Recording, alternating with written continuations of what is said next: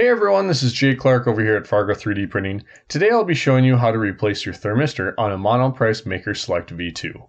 Be sure your machine is turned off, cooled down, and unplugged before proceeding. The tools that will be required are a 330 seconds hex key, thermistor, and an optional pliers. This kit may also come with the extension wires. First we will turn the machine around so we can access the extruder head and extruder block more easily.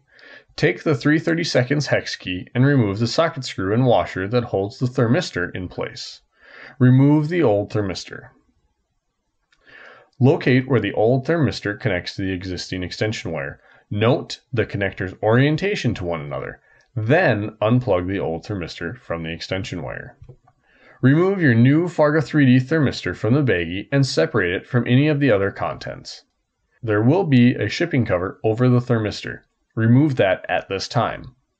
Now the shipping cover may be a different color than the one we have demonstrated in this video. Grab the female end of the thermistor, recalling the old thermistor's orientation, and plug it in accordingly.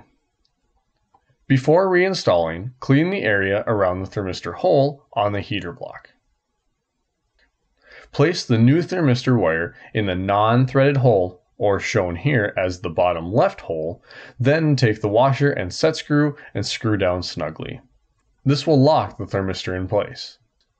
Be sure that the heater cartridge wires do not get caught in the washer. If the thermistor still does not work, the extension cables may need replacing as well. Thanks everyone for watching. Make sure to subscribe to our YouTube channel, like us on Facebook, and follow us on Instagram and Twitter. If you have any questions or comments, be sure to put those down below. Otherwise, for Fargo 3D Printing, this is Jay Clark. Make sure you get printing, stay printing, and change the world.